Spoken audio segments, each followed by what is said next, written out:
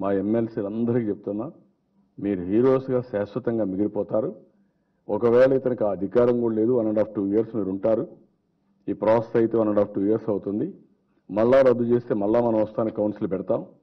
ఇప్పుడు ఒక సంవత్సరం రెండు సంవత్సరాలు తగ్గితే దీనికంటే ఐదు రెట్లు ఎక్కువ ఇస్తాం.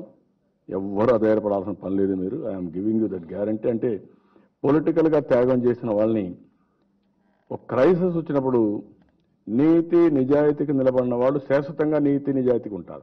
ఇది యాసిడ్ టెస్ట్. ఇన్ని ప్రలోభాలు ఇన్ని భయంకరమైన వాతావరణం.